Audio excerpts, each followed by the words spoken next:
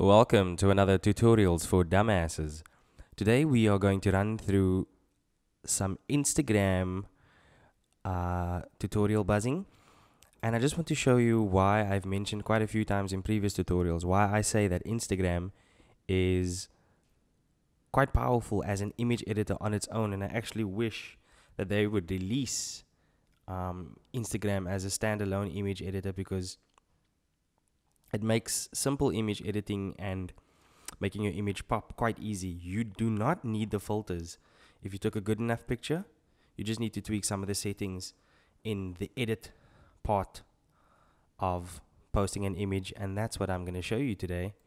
So let's just have a look and I'll run you through the various aspects of this. You see there's all your filters but you don't need them. Let's go to brightness Brightness is simple enough. It just makes things either more bright or a lot more darker. We'll keep it over there for this image. Contrast just uh, changes the light and dark contrast of the image. And depending on the look you're going for, you can choose. Structure adds a lot more drama to the image. I usually steer clear from this one. But for this particular image, we'll have it on 6. Warmth either adds blue tones or warm tones to your image. Saturation either can make your picture black and white or add a lot of color. So for this one, because she's wearing a colorful top, I'll just bring that up just a little bit and make sure to not tint your subject's skin if it's a person too badly that they look like they are burnt. Color I usually don't use a lot. It changes either the tint of the highlights or the tint of the shadows to the colors displayed.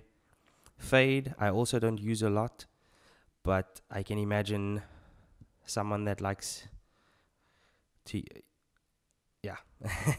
Highlights, I also don't use a lot, but for this particular picture, I think I will keep it at that just to make the subject pop a little. Shadows, I usually don't use either, but you can either bring up or bring down the level of the shadows, the brightness of the shadows vignette I almost 100% always use and it just creates a vignette around the image to make the center pop.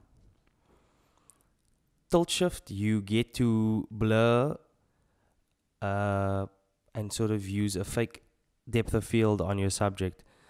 I should actually use this more, but I don't actually use it a lot. But for image like this, you can see it's quite useful just to blur out the unnecessary background, which in this case is the tiles. So we are getting to a very good spot here with this image and sharpen. Obviously, if you have a blurry picture, sharpen will help to just sharpen that picture all the way up. For this picture, this picture is a little bit blurry. And there you can see the difference. Oh yeah, of course you have your rotation tools, but you usually only use that if you have taken a picture that's slightly skew. And you can rotate it if you want to. But yeah, there you can see the humongous difference between what we had initially and what we have now.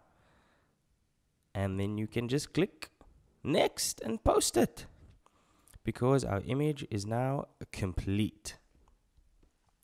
I hope you enjoy this tutorial. Please do like, share and subscribe as is the usual way of doing things. I will keep the tutorials coming and I will make sure that they are informative sometimes fun, but we all have something we can learn. And I hope that you did learn something from this. And happy Instagramming. Enjoy it.